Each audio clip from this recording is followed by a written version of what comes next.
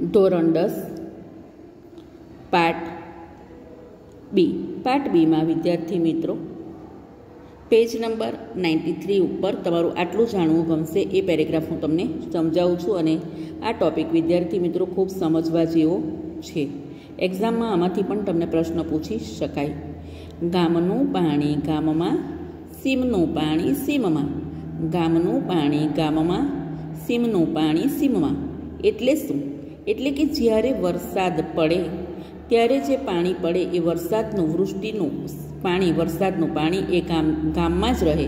અને એ ગામના ખેતરોમાં જે પાણી પડે, વરસાદનું એ ખેતરમાં જ રહે. નકામું વહી ન જાય કે બહાર પણ જાય નહીં. એ માટે વિદ્યાર્થી મિત્રો, વરસાદી પાણીનો સંગ્રહ કરી બેડજ ગામે.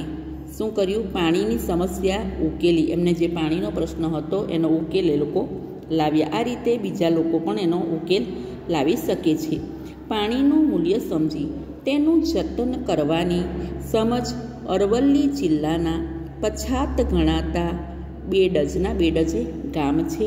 બે ડજના ગ્રામજનોએ ગામના લોકોએ કેળવી.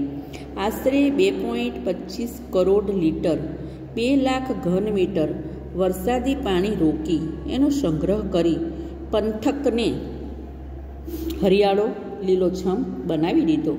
ગામના લોકોનું જ એક સંગઠન ઊભું કરી ગામ અને વિસ્તારની પ્રાથમિક એવી, તો પાણી એ પ્રાથમિક જરૂરિયાત છે, પ્રાથમિક એવી પાણીની સમસ્યા હલ કરવા એમણે બીડું ઝડપ્યું, તક ઝડપી અને તેમાં એમને બધાનો સાથ પણ મળ્યો, સામાજિક સંસ્થાઓનો પણ સાથ મળ્યો.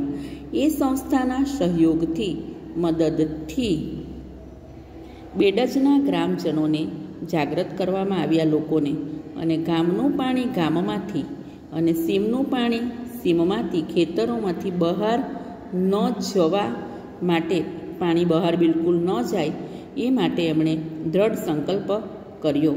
આશરે સાત વીઘા વિસ્તારમાં પથરાયેલું તળાવ માત્ર ત્રણ મહિનામાં જ વીસથી બાવીસ ફૂટ ઊંડું વીસથી બાવીસ ફૂટ ઊંડું તળાવ એમણે ખોદી નાખ્યું અને સામાજિક સંસ્થા દ્વારા મળેલા આર્થિક સહયોગ વડે સામાજિક સંસ્થાએ જે આર્થિક નાણાકીય મદદ કરી હતી, એનાથી માત્ર બેડ જ પંથકમાં જ કેટલા તો વિદ્યાર્થી મિત્રો નવાઈ લાગશે તમને, કે ચ દસ ચેકડેમ બનાવ્યા, અગિયાર ખેત તળાવો બનાવ્યા, ખેતરોની આસપાસ બી તળાવો બનાવી શકાય, પચીસ હેક્ટરમાં દ્રીપ દસ હેક્ટરમાં પાઇપલાઇન તૈયાર કરી, ઊંડી ખેડ કરી.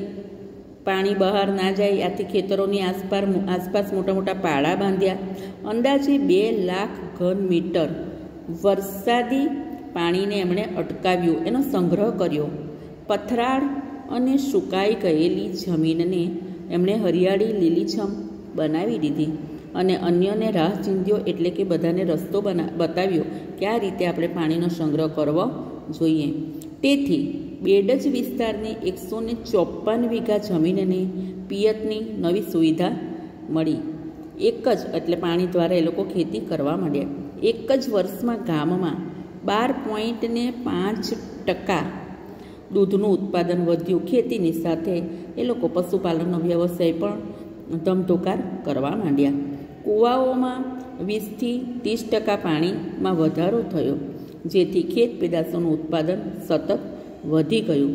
આજે પણ મેઘરજમાં, એ પણ સાબરકાંઠા જિલ્લાનું ગામ છે, મેઘરજમાં પાણીના પોકાર વચ્ચે બેડજની એકસો ને છત્રીસ વીઘા જમીનમાં ઉનાળામાં પણ પાક લે છે. ચોમાસામાં જે પાણી સંગ્રહ્યું હોય, એનાથી ઉનાળામાં પણ એ લોકો ખેતી કરતા હોય છે. વિદ્યાર્થી મિત્રો, આમાંથી આપણે બોધ લેવો જોઈએ કે આપણે પણ આવા સારા કાર્યો કરવા જોઈએ. અતિવૃષ્ટિ થાય ત્યારે પાણીનો સંગ્રહ કરવો જોઈએ. હવે વિદ્યાર્થી મિત્રો નેક્સ્ટ ટોપિક આપણે જોઈશું. જળ વ્યવસ્થાપન માટે કયા મુદ્દાઓ ધ્યાનમાં રાખવા જોઈએ? પાછળ તમારો સ્વાધ્યાયનો જ પ્રશ્ન છે. સ્વાધ્યાય સાથે થઈ જાય છે. જળ વ્યવસ્થાપન માટે કયા મુદ્દાઓ ધ્યાનમાં રાખવા જોઈએ?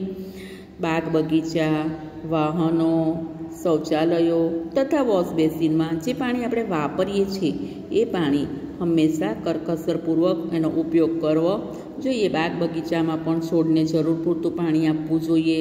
વાહનો ધોવા માટે, ગંદકી સાફ કરવા માટે વોશ બેસિનમાં પાણી ખાસ સાચવીને જરૂર પૂરતું વાપરવું જોઈએ.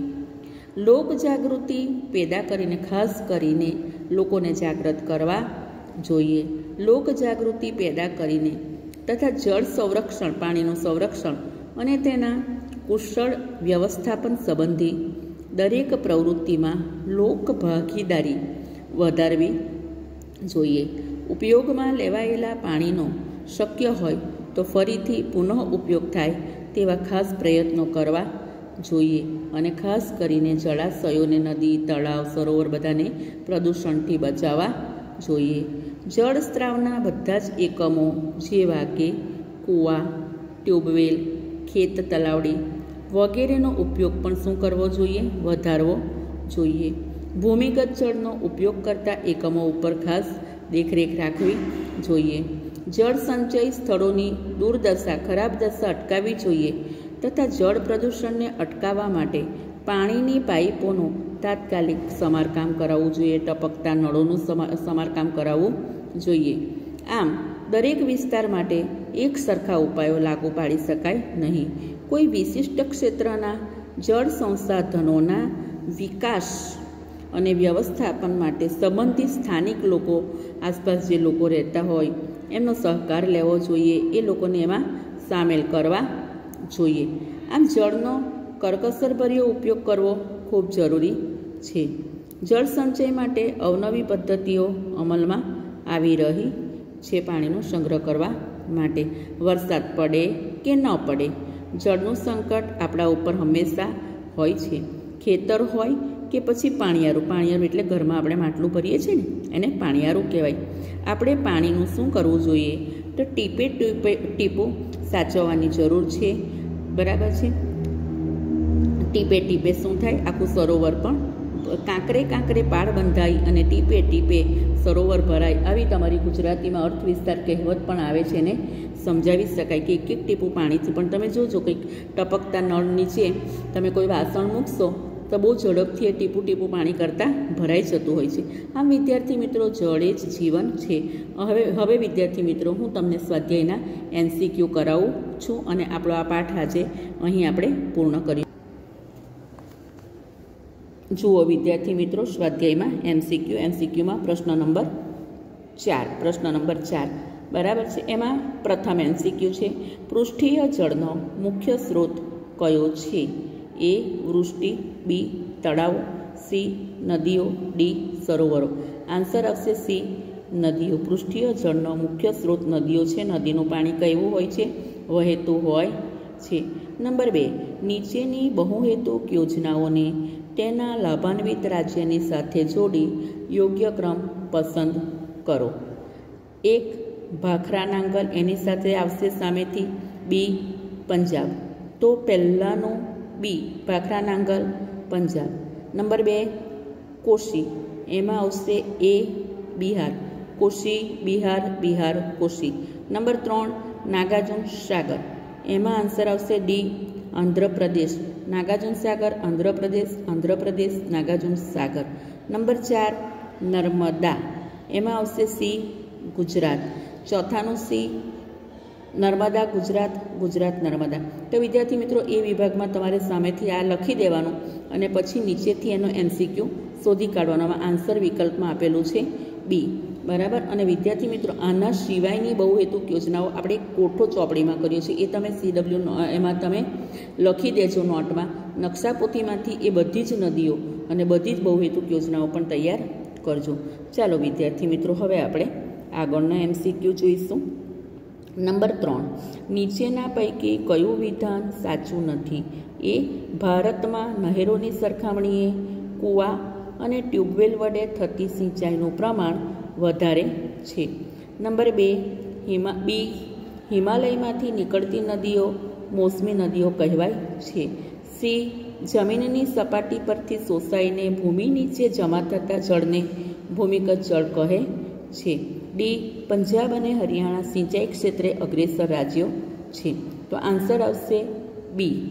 હિમાલયમાંથી નીકળતી નદીઓ મોસમી નદીઓ છે. આ વિધાન ખોટું છે. કારણ કે વિદ્યાર્થી મિત્રો આપણે કારણ કર્યું હતું કે હિમાલયમાંથી નીકળતી નદીઓ કેવી છે? કાયમી છે. ઉનાળાની ઋતુમાં ત્યાં બરફ પીગળતો હોય છે અને ચોમાસામાં વરસાદ પડતો હોય છે. હવે જુઓ વિદ્યાર્થી મિત્રો, નંબર ચાર. વર્ગખંડમાં ખેત તલાવડી વિશે વિદ્યાર્થીઓની ચર્ચા દરમિયાન રજૂ થયેલું કયું વિધાન યોગ્ય છે? યોગ્ય છે એટલે સાચું છે. એ. જય. તે ઉદ્યોગ માટે પાણીની પ્રાપ્તિનું મહત્ત્વનું સંસાધન છે. યસ, તે વધુ વૃક્ષો વાવો આંદોલનનું મહત્ત્વનું અંગ છે. યુગ, તે જમીનનું ધોવાણ વધારવાની આધુનિક તકનીક છે. દક્ષ, તે વૃષ્ટિજળ સંચયનની એક પદ્ધતિ છે. તો આન્સર આવશે દક્ષનું ડી, તે વૃષ્ટિજળ સંચયનની પદ્ધતિ છે. તો વર્ગખંડમાં ખેત તલાવડી વિશે વિદ્યાર્થીઓની ચર્ચા દરમિયાન રજૂ થયેલું કયું વિધાન યોગ્ય છે? ડી ડગ્સ તે વૃષ્ટિજળ સંચયનની એક પદ્ધતિ છે. જોયું વિદ્યાર્થી મિત્રો આવા જાત જાતના એમસીક્યુ પૂછાય, પાઠ વાંચો તો તમને મજા આવશે. ચાલો હવે જુઓ નંબર. નંબર પાંચ, જુઓ નીચેની બહુહેતુક યોજનાઓને. તેમના સ્થાપનાના આધારે ઉત્તર દિશાથી દક્ષિણ દિશા તરફ ગોઠવતા કયા કયો વિકલ્પ આવશે ઉત્તરથી દક્ષિણ તરફ? વિદ્યાર્થી મિત્રો એમાં તમારે શું કરવું જોઈએ તો તમને બધા રાજ્યોના નામ આવડવા જરૂરી છે. એમાં આન્સર આવશે ડી. અને મેં નીચે રાજ્યના નામ લખ્યા છે. આવી રીતના પહેલાં તમારે નામ લખી દેવાના તો તમારા માટે આવા વિકલ્પો ઇઝી થઈ જશે.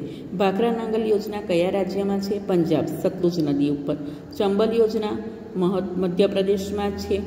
નર્મદા યોજના ગુજરાતમાં છે. અને નાગાર્જુન સાગર યોજના આંધ્રપ્રદેશમાં છે. જો તમને રાજ્યોના નામ નકશામાં આવડશે, તો દક્ષિણથી ઉત્તર કે ઉત્તરથી દક્ષિણ કોઈ પણ પૂછાય, તો તેમાં તમે એમાં સારી રીતે લખી શકશો. ચાલો વિદ્યાર્થી મિત્રો, હવે આ પાઠ પૂરો થાય છે, સ્વાધ્યાય પણ લખવાનું. કેટલાક મેં તમને વધારાના પ્રશ્નો જે કરાવ્યા છે, બરાબર પાઠ ભણાવતા એ પણ લખવાના અને સરસ રીતે નકશાપોથી પણ પૂરી દેજો. હવે આપણે બીજો નવો પાઠ શરૂ કરવાના છે.